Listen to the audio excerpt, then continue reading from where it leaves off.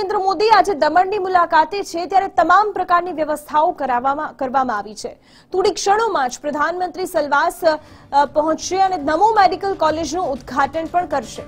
સભામાં પ્રધાનમંત્રી પહોંચશે ત્યારે તિરંગા જેવા ધ્વજ લહેરાવી પ્રધાનમંત્રીનું સ્વાગત કરવામાં આવશે અને ઉદ્ઘાટન બાદ પ્રધાનમંત્રી અહીં સભાને સંબોધન પણ કરશે.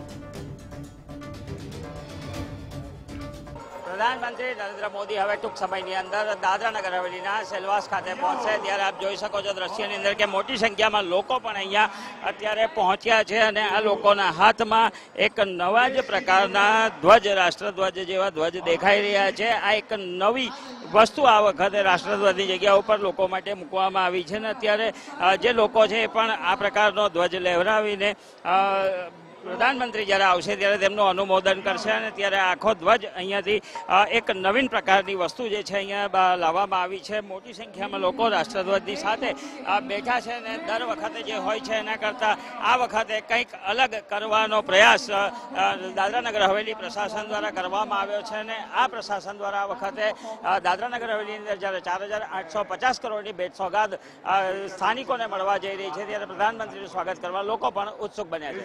કેમેરા પર્સન વિરલ વ્યાસ સાથે આનંદ પટણી ગુજરાત ફર્સ્ટ દમણ.